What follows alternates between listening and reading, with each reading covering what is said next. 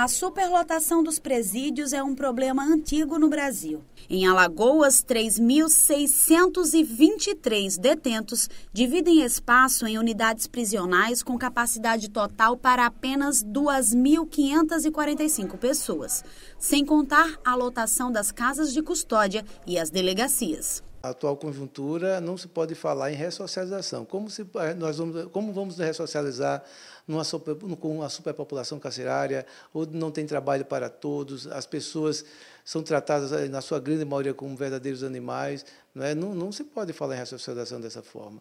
Então, a sociedade, o judiciário, tem que se preocupar muito, o próprio executivo, se preocupar muito com a situação eh, que está vivenciando o, o sistema prisional brasileiro, porque nós estamos devolvendo pessoas muito piores do que entraram no sistema prisional.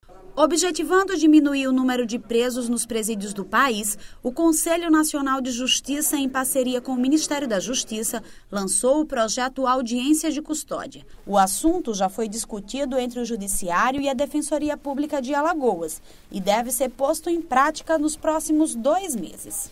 Bem, a audiência de custódia é a apresentação daquele cidadão que foi preso em flagrante, num prazo de até 24 horas, a uma autoridade judiciária para a realização da oitiva dessa pessoa, no sentido de avaliar a necessidade de manutenção dessa prisão em flagrante ou a possibilidade de concessão de medidas cautelares, outras que não a segregação, a prisão provisória desse cidadão. O defensor explica que as audiências de custódia já são realizadas em outros estados. São Paulo e Espírito Santo comprovam o sucesso da iniciativa. Tanto no Espírito Santo quanto em São Paulo, a média de diminuição do número de prisões que são desnecessárias em crimes menos graves, ela já ultrapassa entre 45% e 50%. Isso também leva a um número que, que demonstra que a redução, por exemplo, no Espírito Santo, com os gastos em, do Poder Executivo na manutenção de, de prisões provisórias, diminui cerca de um milhão de reais por mês.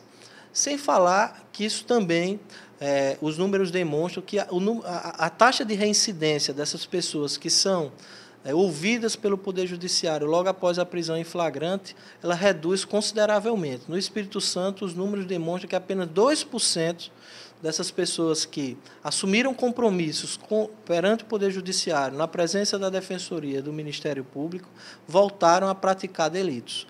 Para o magistrado, o país também precisa reformular o sistema prisional tradicional e utilizar medidas que realmente ressocializem, como as adotadas no núcleo ressocializador da capital, que apresenta excelentes índices. Lá, o preso é tratado pelo nome, não existe superpopulação carcerária, tem trabalho para todos, não é? cursos né? tem cursos lá, tem cursos profissionalizantes, tem, tem estudo.